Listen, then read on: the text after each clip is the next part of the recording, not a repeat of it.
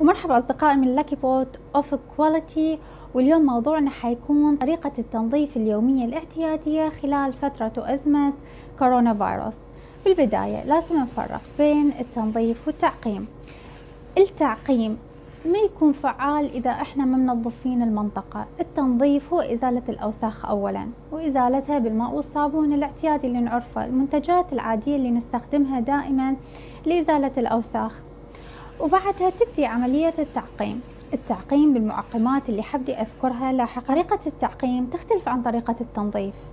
طريقة التعقيم تحتاج زمن تحتاج وقت على مود يتفاعل المعقم على الأسطح. إحنا من نحط المعقم نتركه أن لا يقل عن دقيقة.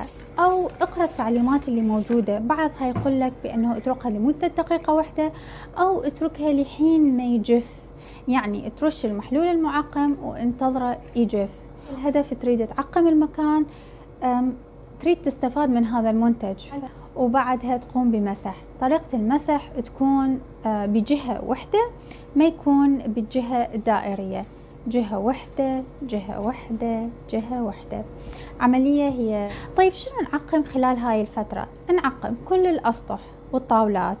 مقابض الأبواب مفاتيح الكهرباء ال keyboard ال remote control للمكيف للتلفزيون أي شيء اللي إحنا تلامسه بشكل يومي إحنا وأفراد عائلتنا.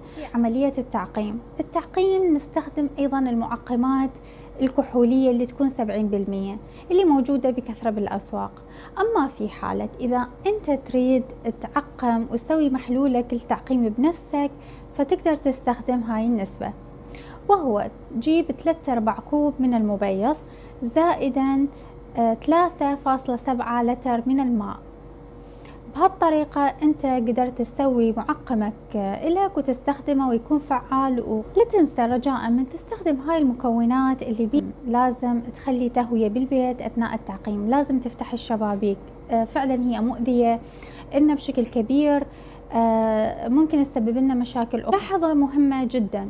لا تستخدم المبيض إذا كان expire شوف ال expiry date مالته تاريخ الانتهاء المنتج. مهم لأنه إذا عبر فترة تاريخ الانتج الانتهاء هو ما حيكون فعال يعني حيكون بدون فائدة. البس الكفوف عند استخدامنا هاي المنظفات لأنه آه، هي فعلا مؤذية للجلد.